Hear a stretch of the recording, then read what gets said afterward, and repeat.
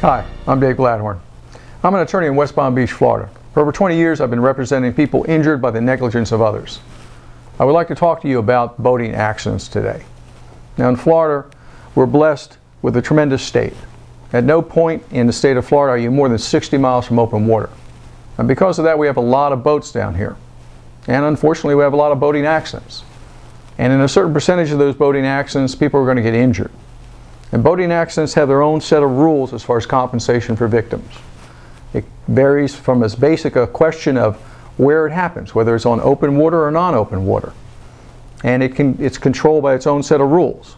For example, in an automobile accident, you have up to four years in which to file suit, whereas in a boating accident, it's three years.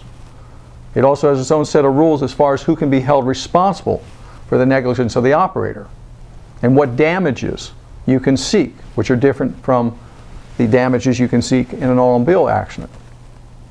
Beyond that, the intrinsic nature of boating accidents lend themselves to a lot of different causes, from inadequate equipment, improper equipment, there's a lot of times there's drinking involved, or the inexperience of the operator. So often it requires the use of expert witnesses to put the liability, put the responsibility on the person that where it belongs. So if you've been involved in a boating accident or someone you know has been injured in a boating accident, that's probably the reason why you're watching this video.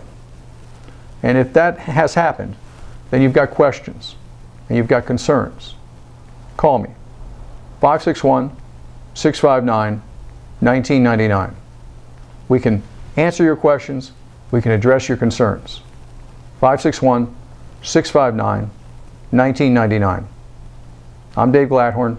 We're here to help.